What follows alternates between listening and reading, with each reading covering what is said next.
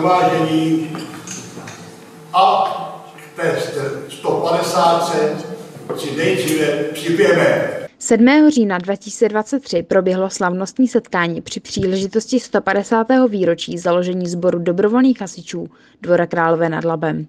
Starosta sboru Miloslav Tykal se ujal hlavního slova a přivítal všechny příchozí a také čestné hosty. Zvlášť mezi námi vítám starostu města pana Jana Jolíma,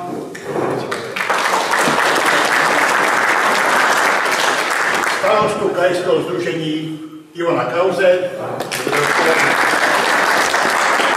starostu okresního združení Jana Jana Černého.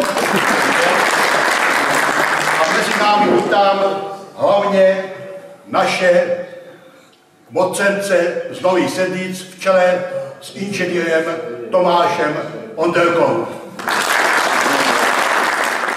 Zbor dobrovolných hasičů je třetí nejstarší spolek v našem městě.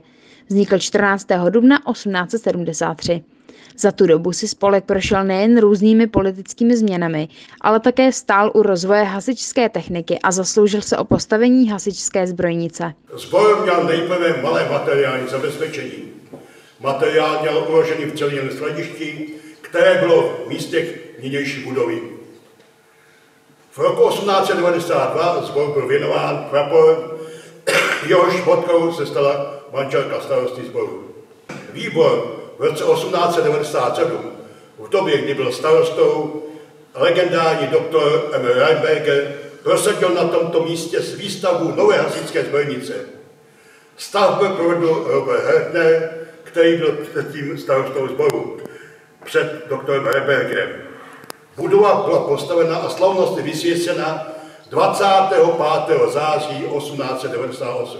Nyní se skládá sbor z 37 členů. Ve spolupráci se sborem dobrovolných hasičů Verdek se snaží vychovávat novou generaci hasičů.